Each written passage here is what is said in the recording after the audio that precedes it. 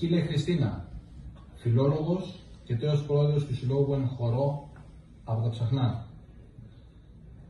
Ο Φίλιππος ο Μακρύς, διευθυντικός τέλεχος της ΕΑΔ και πρώην αντιδήμαρχος Χαλκίδας, νομίζω στην περίοδο Ζεμπίλη.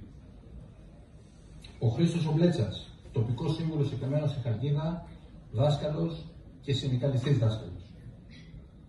Ο Γιώργος ο Πατσούρας, ανεξάρτητος περιφερειακός σύμβουλος εκλεγμένος επιχειρηματίας από τη Λίμνη. Ο Γιάννης ο Πετρογιάννης, οδοντίατρος, δημοτικός σύμβουλος Ερέδρια Σαμαρίνθου και εκλεκτός φίλος.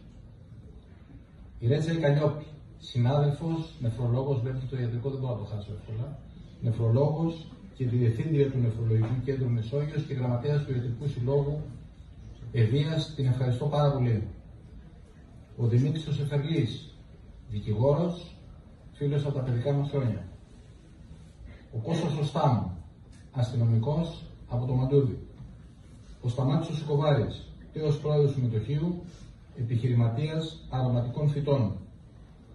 Ο Γιώργος ο Χατζερατάκης, επιχειρηματίας εστίασης από, τη από την Αγία Άννα.